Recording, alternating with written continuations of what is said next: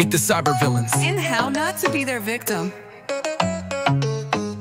Welcome to the wild world of cybersecurity Where digital villains lurk behind every click And your best weapon is knowing their game. Let's break down the baddies, how they strike And how not to become an internet horror story. Uh, You should care What happens when a hacker meets a security hole. Think Home Alone but with your data. That one broken window that screams, please rob me. Anyone ready to pounce like a raccoon on trash night Who's gunning for you? Insider threats, Bob from HR Click the sketchy link again. He might not mean harm but damage is done. External hackers, internet randos Looking to break into your systems. Digital burglars with Wi-Fi. Hackers backed by governments Their hobbies, espionage and cyber war cosplay. Hacktivists, angry keyboard warriors with a cause Replacing signs with DDoS attacks digital mobsters. They want your money or your data to make money.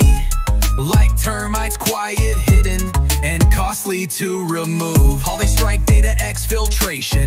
Stealing files like it's cookies from the jar. Service disruption, locking your files. Crashing systems, chaos is the goal Disinformation, fake news, fake sites, bot armies Nothing is real. Sneaky software that moves in like a bad roommate. Scams with style. When hackers use people instead of code Think mind games, click this urgent link. It's a trap. USB drop for USB Free malware. Click or you're fired. Now your data's terminated. Two typed Amazon.com That's not a sale, that's a setup. Brand impersonation Looks like Netflix, smells like fashion. Water meme happily track says this trick. Everyone's doing it. That's how viruses spread. If your tech's outdated You're basically inviting burglars in. They're rodent Threat vectors are the highways into your network. Email shady apps, broken updates Or Chad from accounting's laptop. Don't be the weak link.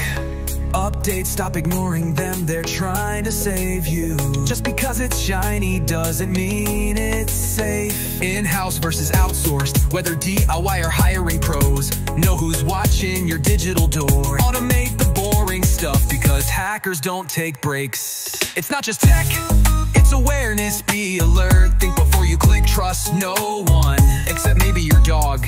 In this game, you're not just a user You're the last line of defense